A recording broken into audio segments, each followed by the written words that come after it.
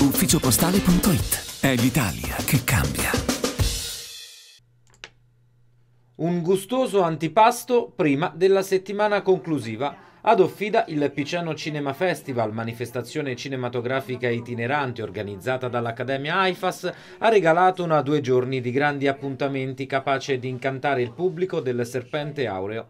Si è iniziato venerdì con una serata all'insegna di cinema, musica e teatro, a spiccare lo spazio Chuck in scena con la compagnia di Icra Project, che ha proposto una serie di elaborati scenici tratte dalle tragedie greche e da canovacci e commedie distese delle maschere italiane, un lavoro condotto dal docente Michele Monetta e Lina Salvatore.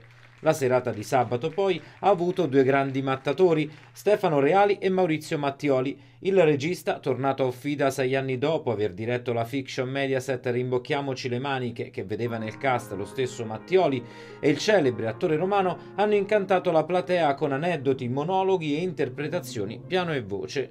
Particolarmente toccante il ricordo di Mattioli per il suo grande amico Franco Califano, del quale ha interpretato canzoni e letto poesie.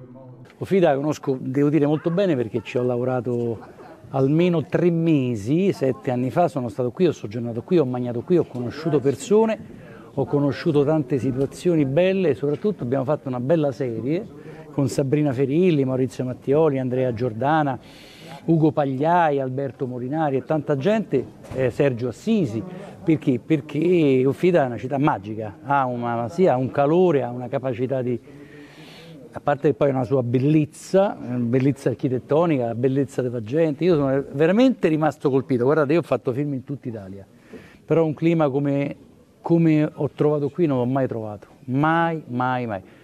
Siamo stati con Stefano qui a fare una fiction con la Ferilli, si chiamava Rimbocchiamoci le maniche, conoscevo molto bene il posto, eh, il teatro, ci abbiamo anche girato dentro qui.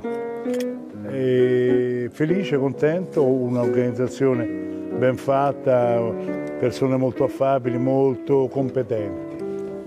Questo fa piacere, insomma. Eh, capito? ricevere eh, riconoscimenti o complimenti da persone che magari di cinema di spettacolo ne sanno e ne capiscono. Il festival si sposta ora ad Ascoli per la settimana conclusiva. Da martedì, serata dedicata al cinema di impegno civile, ospite la sceneggiatrice Monica Zappelli, fino a venerdì prossimi all'Auditorium Neroni. Sabato il gran finale al Teatro dei Filarmonici con Ricky Tognazzi, Enrico Vanzina, Massimo Cappelli e Fabio Troiano avverrà anche la proclamazione del film che si aggiudicherà il premio Piceno Cinema Festival 2022.